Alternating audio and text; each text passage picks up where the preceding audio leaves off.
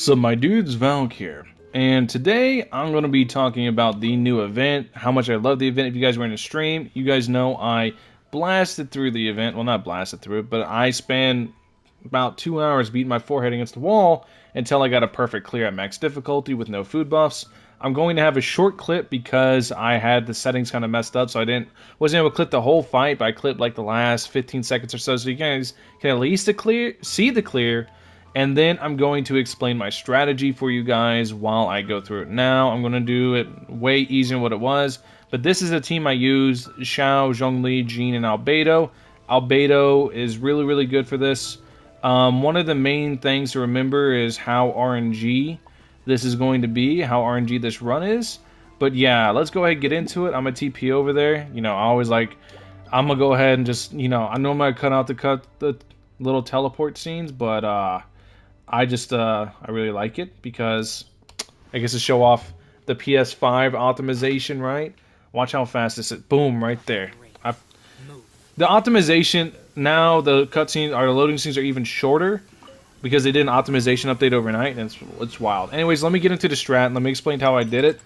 I don't know if how I did it's going to help you guys, but as you can see, high score 8,000. You can see I perfect cleared it no food buffs. I'm going to post the little clip at the very end of this video so you guys can see it. Well, actually, I'll post a little clip probably about right now. Single target, baby. The Classica. Woo! There we go.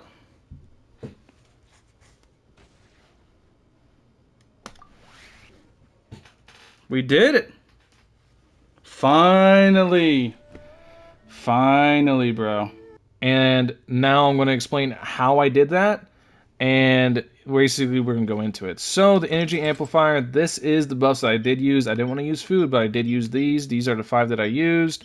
Um, basically, some of them are kind of worthless, but this is really, really good. Uh, so, you're going to want to charge attack people low HP.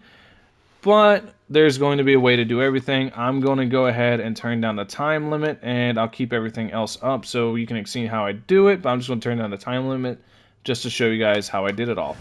So max difficulty, max everything. Only thing that's not there is the um, the only thing that's not there is the time limit uh, because doing this in a time limit was the real hard part. Now the very first part here this is the RNG. So if you're using Albedo and Zhongli, you're going to want to put down the Albedo flower right around here. You're going to want to turn Zhongli around. Then you're going to want to turn to Xiao. And you're not, if you have C6, which I know most of you don't, but if you have C6, you're not going to want to use C6 here. You're going to want to just plunge and keep them stun locked because if they get out of stun lock, they will spin and they will either kill you or then they will disappear immediately after.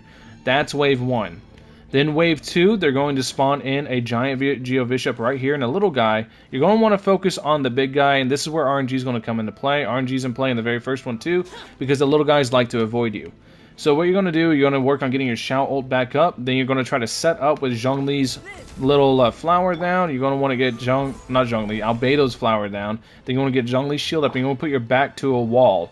The reason is that is they'll both come towards you, and then whenever you go ahead and do that, you're going to pop Xiao's ult, you're going to do one plunge, and then you're going to dash backwards, and then you're going to start plunging back into them. It's going to press them into the wall so they can't escape.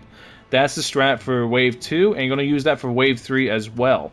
Now, Wave 3 is going to be the big decider because they're just giant meat chunks, but I'm going to give you guys a little bit of an idea of how it goes. Hopefully this run goes well.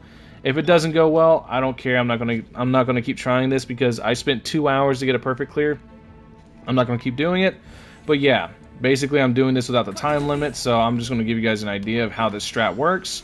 You go ahead, do this with Zhongli, then you can go and ult right away with Xiao, because if you do that, they're going to go ahead and come at you. And you can see right here that you just need to keep make sure you keep them stun locked. As you can see by me plunging, they can't really move. See how he went ahead and did that, so now we're trying to burst him down before he does that, because now he's away. The only question is how much HP did he survive with? I have no idea. You gotta wait for him to stop. About half. Uh, this is kind of doable. But I'm just gonna go and show you. Because as you can see, he even avoided that. These little assholes... Well, I wasn't going to cuss in a YouTube video. These little bungholes go ahead and they avoid a lot of damage, and they're really, really annoying to deal with. But that's the strat for Wave 1. So now Wave 2, just like I explained before, we're going to go over here. We're going to get uh, Zhongli's ult ready.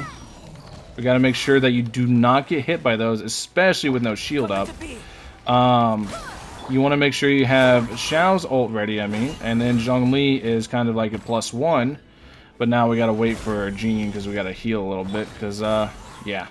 So we're going to go ahead and pop this healing field. We're going to put Xiao over here in a corner, and we're going to start plunging, and we're going to go ahead and try to get them on the other side. Now we can just plunge like crazy, and we can make sure to keep the little dude stunned. The little dude is your biggest priority there. You want to make sure the little guy stays stunned. And then now you just go right back to stunning him. You're going to beat him just like normal. Ideally, though, you hit them both at the same time. You group them up, you can deal AoE damage. Because AoE damage is really the only way you're going to be able to clear this without any food buffs. You could get all sorts of in-depth instantation, you can get all sorts of vials, and you can go Super Saiyan on it.